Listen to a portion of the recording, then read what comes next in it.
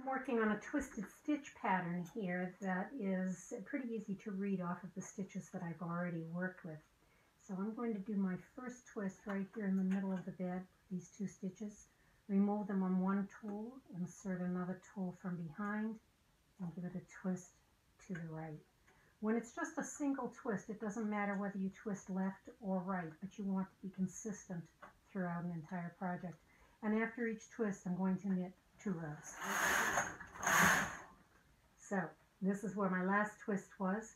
I want to start moving out on each side because I'm working up a diamond. So I'm going to move one needle to the left to make the next twist.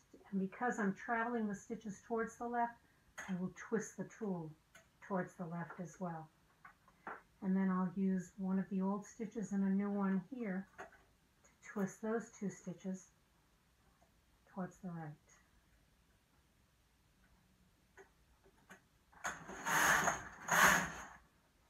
Now it's a little easier to see. This was the last twist, so I'm going to move one stitch further to the left. On the left side twisting left and traveling left.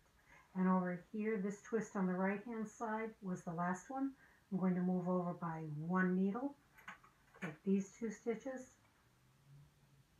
transfer to the other tool, twist to the right, and replace them on the very same needles with two rows. And I'll keep doing that, moving over one needle to widen this diamond until it's as large as I need it to be. And then I'm going to start moving those stitches back in to close up the top of the diamond. Here's the last row getting wider.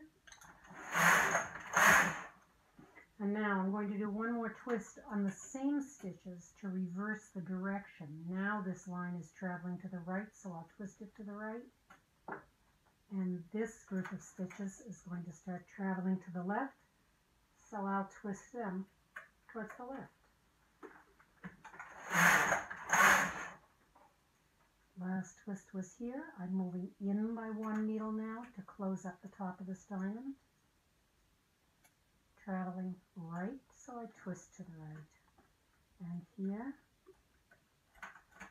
traveling left,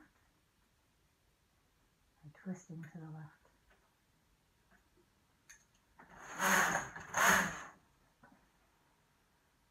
Previous twist, next twist, one needle over.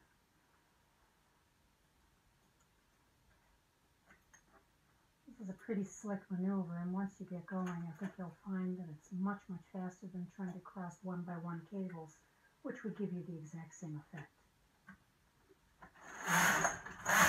And here comes that last twist at the top of the, the diamond. And again, I'm going to twist to the right, but it really doesn't matter which way I go, as long as I'm consistent from one repeat to the next.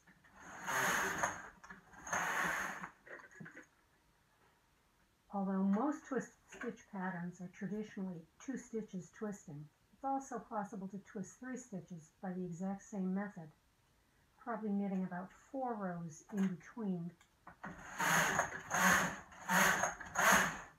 for a very spiraled, almost cabled appearance.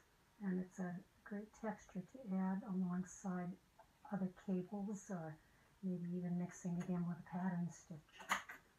So about every four rows, three stitches twisted with the two pulleys.